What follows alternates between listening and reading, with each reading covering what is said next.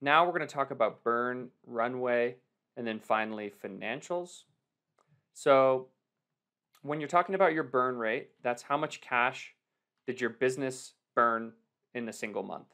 So the easiest way to do this is just look at beginning of the month cash uh, and end of the month cash, and then how much cash uh, was was left over. So you you had 744 at the beginning of the month, and then at the end of the month you had 695. So you burned $48,000.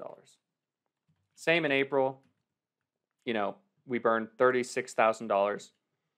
So when investors ask, what is your runway? That means how many months of cash do you have until you have no more cash? So how many months of cash do you have um, for your business?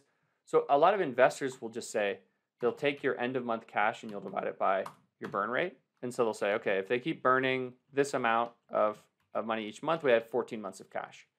And if they keep burning this amount of cash each month, they have 18 months of cash. So a lot of investors do this even if you give them a projection and say, no, it's a specific month, they, they'll just do it like this.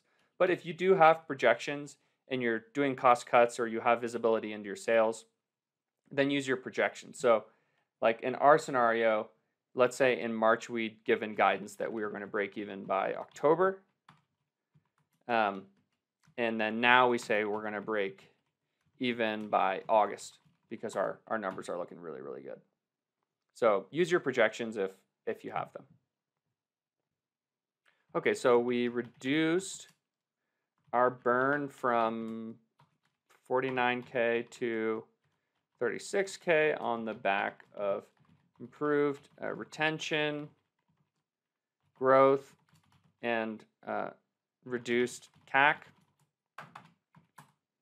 And then based um, on our forecasts, we expect to hit cash flow break even by August.